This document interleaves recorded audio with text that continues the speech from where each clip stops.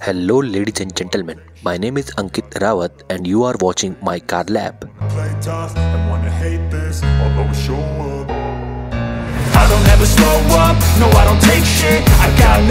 दोस्तों वैसे तो भारतीय बाज़ार में इस वक्त काफ़ी सारी प्रीमियम हैचबैक्स अवेलेबल है बट अगर बात करें सबसे ज़्यादा बिकने वाली प्रीमियम हैचबैक्स की तो सबसे पहले नंबर पे आ जाती है बलिनो और दूसरे नंबर पे आती है आई ट्वेंटी और आज हम इन्हीं दोनों गाड़ियों के बारे में चर्चा करने वाले हैं। कौन सी गाड़ी में क्या क्या फीचर्स ऑफ़र किए गए हैं?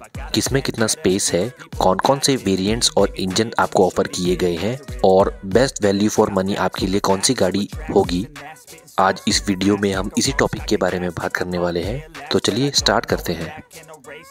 सबसे पहले बात करते हैं डायमेंशंस की। दोनों ही गाड़ियाँ प्रीमियम हैचबैक सेगमेंट्स की हैं। तो स्पेस आपको दोनों ही गाड़ियों में काफ़ी बेहतर ऑफ़र किया गया है। एक नज़र डालते हैं इनके फिगर्स पर। आई ट्वेंटी में आपको लेंथ तीन हज़ार नौ सौ पचानवे एम की मिल जाती है। विर्थ इसमें सत्रह सौ पचहत्तर एम की हाइट पंद्रह सौ पाँच एम की। बूट स्पेस इसमें आपको मिलता है तीन सौ ग्यारह लीटर्स का। व्हील बेस आपको मिलेगा तीन सौ अट्ठावन एम का। और कर्व वेट इसमें एक हज़ार उनसठ से लेके ग्यारह सौ उन्नीस के जी तक का देखने को मिल जाता है।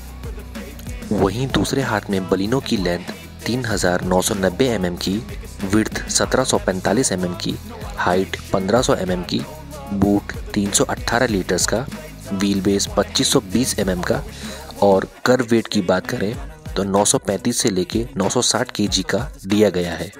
मीन्स आई ट्वेंटी में आपको ज़्यादा बेटर स्पेस प्रोवाइड किया गया है। आप लोग अपनी स्क्रीन में देख के कंपेयर भी कर सकते हैं।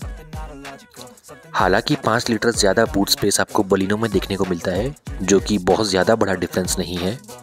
बात करें कुछ ऐसे फीचर्स की, जो आपको आई ट्वेंटी में ऑफ़र किए गए हैं। तो सबसे पहले आ जाता है LED projector with cornering lamps LED tail lamps with halogen indicators electric sunroof digital instrument cluster push button start air purifier wireless charger automatic climate control cruise control rear AC vents auto dimming IRVM cooled glove box 10.25 inches का infotainment system with Bose के premium speakers interior में आपको black and beige का combination देखने को मिल जाता है। Hard plastic का यूज़ दोनों ही गाड़ियों में देखने को मिलेगा बट इसका कैबिन काफ़ी स्पेशियस और फिट एंड फिनिश में काफ़ी बेहतर आपको बलिनों से देखने को मिलेगा। साथ ही में इसमें आपको मिल जाती है ब्लू एम्बियंट लाइट्स जो कि प्रोवाइड करती है इंटीरियर को एक प्रीमियम लुक तो अब बात करते हैं उन फीचर्स की, जो हमको सिर्फ़ मारुति की बलिनों में ऑफ़र किए गए हैं। इसमें भी आपको सेम एलईडी प्रोजेक्टर ही दिया गया है। हालाँकि इसमें कॉर्नरिंग लैम्प्स का फीचर मिसिंग मिलेगा। इसके अलावा मिलती है इसमें आपको LED tail lamps with halogen indicators heads up display auto dimming IRVM cruise control rear AC vents push start button 360 degree camera automatic climate control 9 inch का infotainment system with Arkamys surrounded sound system and 60-40 split seat तो overall features आपको i twenty में ज़्यादा offer किए गए हैं but कुछ main features जैसे कि हेड्सअप डिस्प्ले 360 डिग्री कैमरा और 60-40 स्प्लिट सीट ये आपको आई ट्वेंटी में मिसिंग मिलेंगे।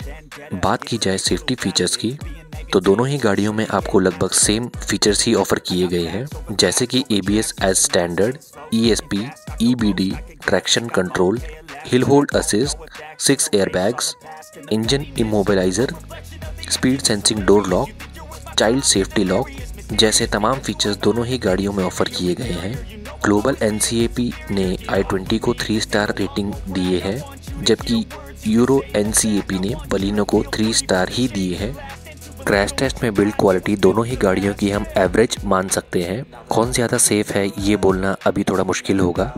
हालाँकि वेट तो आई ट्वेंटी का ही ज़्यादा है, बट अगर आपका मेन कंसर्न सेफ्टी है तो आप मार्केट में अदर ऑप्शंस की तरफ़ जा सकते हैं। आप उनको कंसिडर करेंगे तो वो आपके लिए बेहतर ऑप्शन रहेगा। खैर, आगे बात करते हैं इंजन और ट्रांसमिशन ऑप्शंस की। तो बलिनो में हमको सिर्फ़ एक इंजन ऑप्शन मिलता है जो कि है 1.2 लीटर का नेचुरली एस्पिरेटेड पेट्रोल इंजन जो कि प्रोड्यूस करता है 88.5 bhp की पावर 6000 आरपीएम पर और 113 एनएम का टॉर्क 4400 आरपीएम पर। इसमें आपको 5 स्पीड मैनुअल और ए का ऑप्शन देखने को मिल जाता है। बात करें आई ट्वेंटी की तो इसमें काफ़ी सारे इंजन और ट्रांसमिशन का ऑप्शन आपको ऑफ़र किए गए हैं।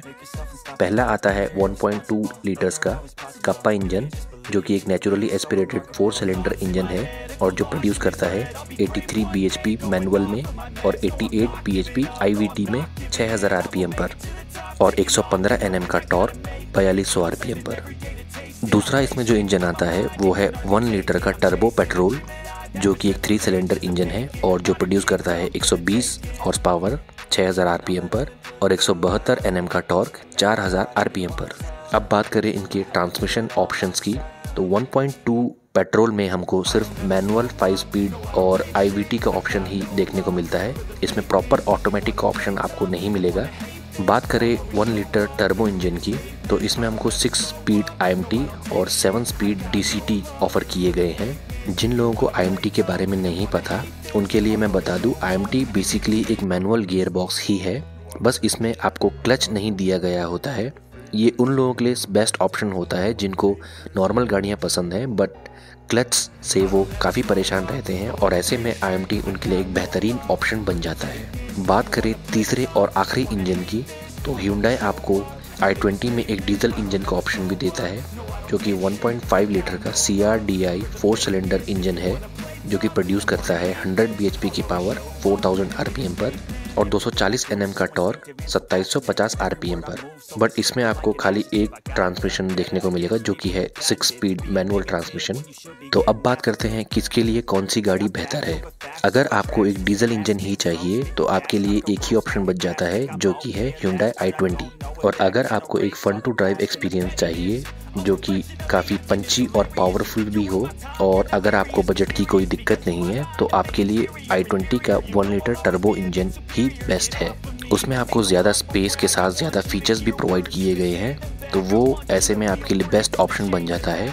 बट अगर आपको एक family oriented budget friendly yet reliable car चाहिए, जो ज़्यादा माइलेज भी दे पाए और रीसेल वैल्यू भी जिसकी ज़्यादा बेहतर हो तो definitely you should go with the all new Maruti Suzuki Baleno तो आई होप आपके सारे कन्फ्यूज़न दूर हुए होंगे इस वीडियो को देख के।